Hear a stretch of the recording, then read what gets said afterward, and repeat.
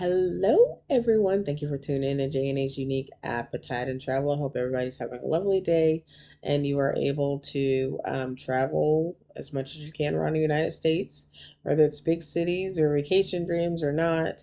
I happen to be on the Lewis, Lewis and Clark Trail. I keep bumping into it, so I was like, screw it, I'll just go ahead and follow the whole thing. Um, so, actually, on the Lewis and Clark Trail, and right a little like 20 minutes outside of Omaha, uh, there is uh, Fort Calhoun um, that you can visit. Um, it does have Fort Atkinson, which hosts some soldiers. We were going to go in. It just it does say that it is free to go inside the fort. However, you will have to pay for parking. Six dollars if you're from Nebraska. Um, Twelve dollars if you're from out of town. Um, or outside of the state. We were going to go in, but it was a very hot day. So we will actually go back to Fort Atkinson probably this year or maybe next year.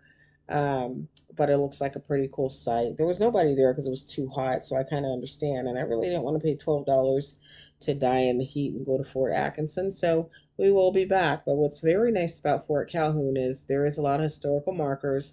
Their signs are really neat. They have soldiers by the signs. It's a tiny little town. Um, so I definitely think you should visit. Um, also, if you're driving through Fort Calhoun, there are a lot of um, unique sculptures that we saw. One was like a scarecrow. I didn't get a good picture of it, but if you're driving down that road to go to Fort Calhoun, you will see it to the left or to the right, whichever way you're coming from. Um, also, there is uh, some unique things that I've seen. The first, I'll put it at the end of this video. When I was in Iowa, right out of Coon Rapids, what's so neat about it is there's a statue way in the middle of the field of a Bigfoot, and it's so funny because from a distance somebody might think it's real, but it's a fake statue. So as we're driving into um, Fort Calhoun, right on a hill, there's a big Bigfoot and a little Bigfoot. So I don't know. I need to look into this a little further, but I thought it was neat. These these are statues that people put for people to say, "Oh my God, I saw Bigfoot," but it's really neat. Um, in Fort Calhoun, it's a little tiny town. It's got some unique stuff in it: coffee houses, uh, Fort Atkinson. But I love the little soldiers that they have around town. Um, also, if you decide to just drive through Calhoun and head on to Blair, um, Nebraska, I believe it's called. Um, you will still follow the Lewis and Clark Trail, which is, I think, um, pretty unique. Now, on my way there, I've never seen this, so I know some people may think, oh, you've never seen one of those before.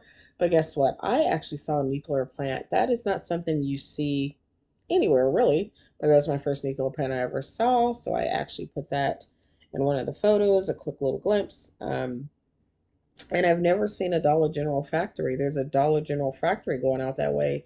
It is huge. Holy crap, is that factory huge? Um, but please enjoy our little rides to Fort Calhoun, a little sign of Atkinson, and some little historical markers that you see the Lewis and Clark Trail. That's a good trail to follow.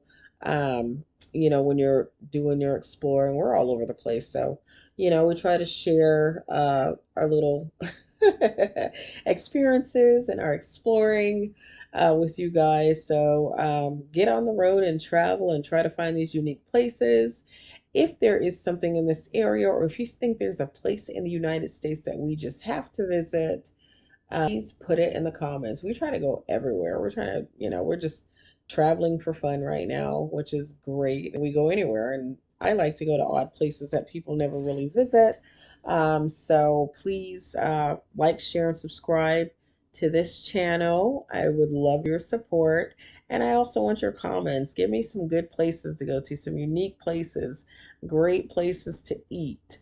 Um, and we also, also you'll see in the pictures, we got a nice little, um, a nice little Airbnb that was really nice. Um, we're leaving, so it's kind of sad, but it was a nice place to go.